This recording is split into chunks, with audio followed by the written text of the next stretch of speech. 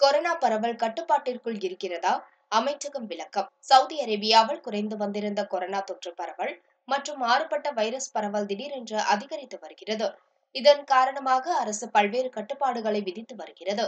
மேலும் ஏற்கனவே அளிக்கப்பட்டிருந்த பல தளர்வுகளையும் பின்வாங்கி இருக்கிறது. இந்நிலையில் தற்போது தொற்று பரவல் காரணமாக பாதிக்கப்பட்டு அதிதீவிர சிகிச்சை பிரிவில் இருப்பவர்களை பற்றிய விவரங்களை சுகாதார அமைச்சகம் வெளியிட்டுள்ளது. அந்த அறிக்கையின் அடிப்படையில் கொரோனா தொற்று பரவலை தடுக்கும் வகையில் விநியோகித்து வரும் தடுப்பூசியின் முழுமையான அளவை எடுத்துக் கொள்ளாதவர்கள்தான் அதிதீவிர சிகிச்சை பிரிவில் இருப்பதாக தெரிவிக்கப்பட்டுள்ளது. இரண்டு வாரங்களுக்கு முன்பு முப்பது என்ற எண்ணிக்கையில் இருந்து அதிதீவிர சிகிச்சையில் இருந்தவர்களின் எண்ணிக்கை தற்போது நூற்றி முப்பத்தி நான்காக உயர்ந்துள்ளது. முழுமையான தடுப்பூசியை எடுக்காததும் குறிப்பிட்ட காலகட்டத்தில் தடுப்பூசிகளை எடுக்காததுமே ஐசியு நோயாளிகளின் எண்ணிக்கை அதிகரித்ததற்கு காரணம் என சுகாதார அமைச்சகம் செய்தி தொடர்பாளர் டாக்டர் அப்துல் அலி தெரிவித்தார்.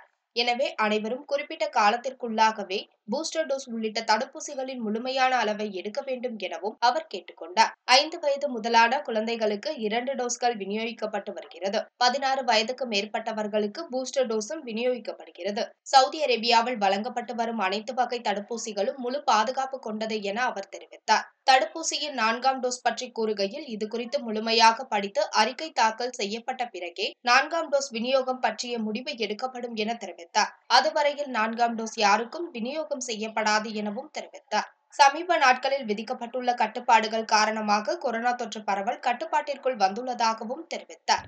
இத்துடன் செய்திகள் நிறைவடைகிறது. செய்திகள் உடனுக்குடன் தெரிந்து கொள்ள சவுதி தமிழ் நியூஸ் சேனலை சப்ஸ்கிரைப் செய்யுங்கள்.